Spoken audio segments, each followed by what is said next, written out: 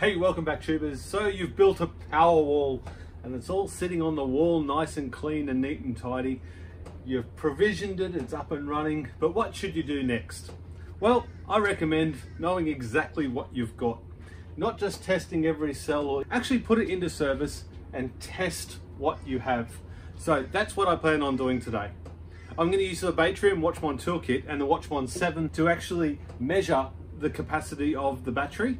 I'm going to use this little inverter here and I'm going to use the lights above my head as a load. So I'll run 150 watts off this battery. I'll turn the solar charge controller off, the PCM60X, and we will just, just run on batteries alone and see how long it lasts. Now this is a really good test if you're actually building or commissioning your Powerwall, or even to do after 12 months. Uh, it easily and quickly points out lower cell packs, so let's get started. For me to complete this test, I'm going to have to change a few settings. At the moment, I've got the PCM60X charge controller charging the batteries, but it's only set to 4.1 volts per cell. So I'm gonna have to change the Watchmon 7 to 4.2 volts top of charge, and similarly the PCM60X to 29.4 volts, I believe. Plug the RJ45 cable into there. While that's opening up, we can plug in the USB into the computer. There we go, we're already on COM port 5. So we'll log in, password is administrator. We click on the tools. Now our MPP tracker and the PCM60X is in 12 volt increments. So it comes down to 14.35 volts is 4.1 volts per cell. Now we want to take that up to 4.7 volts, I believe, and that will give us 29.4 volts as top of charge. We have to change the battery absorption charging voltage to 14.7 and also the battery floating charge to 14.7 as well. Now you should never take this lightly. Cranking your lithium ion batteries up to 100%. Uh, now I've got battery equalization set to disable and then we can close.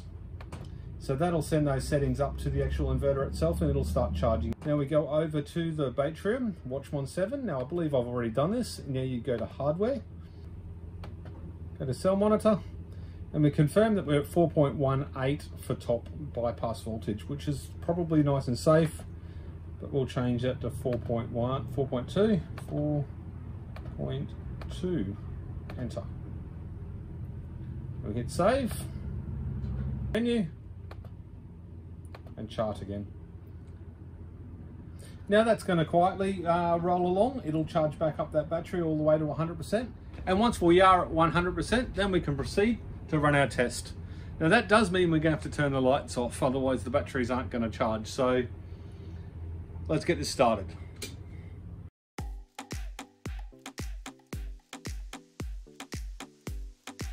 As you can see, we've got 4.17 volts and 4.18 volts. I'm trying to work out the actual maximum of this. So I'm gonna have to push that up just a little bit in voltage with the, what do you call it, MPP tracker software. So I've got 14.7 volts for the float and the absorption charge under customize. So I'm just gonna push that up by 0.1 of a volt, which will be 0.2 at the other end. Ah, wait a minute, it does two decimal places. Up by half a volt, apply, okay. There we go. Apply, okay. Close that down. Now we should see the amps start to rise up a little bit. So almost two amps going into the battery according to that. Two and a half amps. Let's see if we can open both of those at once. So it's saying about six amps there and about five amps there. So I'm not sure where that discrepancy comes from, whether it's just the power that's being used. Now we've got the fans just turned on.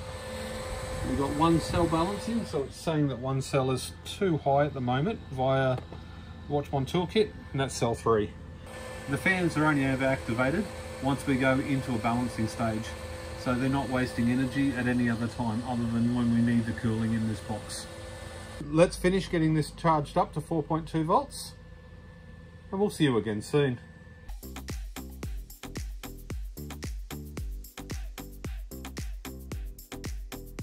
What have we got up there? Can we see that? Charging at 1.7 amps, 50 watts, 90, 29.4 volts. So close enough to the top of charge. We're almost at top of charge. I must have done something wrong and only charged it up to 4.19 volts per cell, but they're all in balance at the moment, uh, according to the Watchmon toolkit. Uh, we've got there, we can see, so we've got some cells at 4.2 volts and some at 4.19 volts. If we have a look at telemetry and then click over to, what have we got? Come on, cell information. We've got high cell volt, we've got one there that's gone too high. But all the rest are nice and close. We are still in a charging state at the moment though, so that is probably not that accurate. We're still doing two amps into the batteries and we can only bypass current of about 0.5 of an amp. So that'll be why that's pushing a little bit high, but we're close enough to being fully charged to be able to start this test. Now we can isolate the solar with this switch here. So when I turn that off, the solar should disappear. Okay, over on the Watchmon toolkit over here, we can see menu, menu, chart. We're still at about 4.19 to 4.2 volts. Before I actually start this test, we'll go up to menu and then go down to hardware, and then we'll go to shunt. Now I want to actually reset the amp hours and stuff like that. I've set it at approximately 160 amp hours, but I might change that to 200 amp hours just so we can see exactly what it is because I'm not sure whether it calibrates on the bottom. There we go. Now we also want to go up to metrics here and then we want to do uh, full.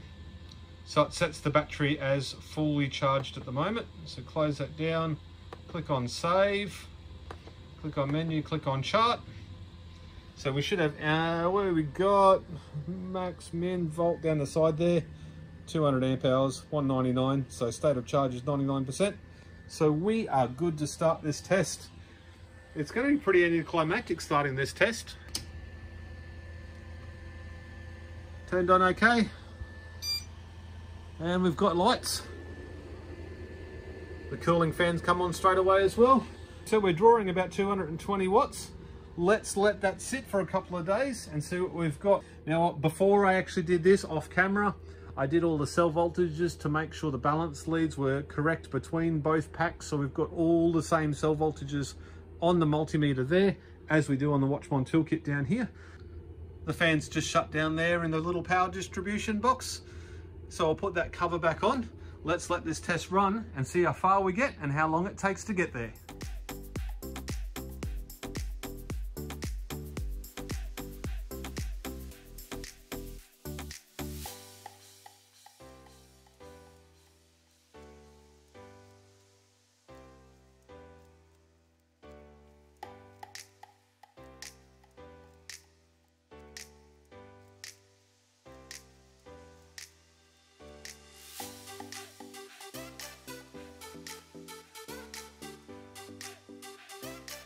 So that caught me a little bit by surprise. It dropped. Uh, the last time I looked, it was uh, 3.2 volts minimum.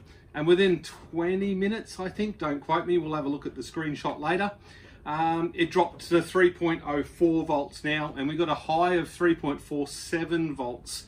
Overall battery pack is 23.28 volts. So that's not bad for a recycled battery. Now, for anybody that hasn't caught up with me before or doesn't know about my channel or is watching this for the first time, this is an 18650 back that I built um, from used laptop batteries. So let's run through some results or debunk some of the stuff that you'll see up here. Now, uh, I didn't go through when I did the video first. I set it at 200 amp hours uh, for the shunt trip and the capacity of the battery. I was basing that on, I looked around here, 175, 169, 166, 160, 165 amp hours per pack. What I didn't do is times that by two. Completely my mistake. The problem is I don't get all of the statistical data that I wanted to get on the Watchmon toolkit, but that's my fault. It's, it's, it's not a program fault, it's the way I did it. I didn't really know the, the bottom charge of the inverter, but I do now. It's 21 volts, and we're still at 23.26 volts, so we're still safe there.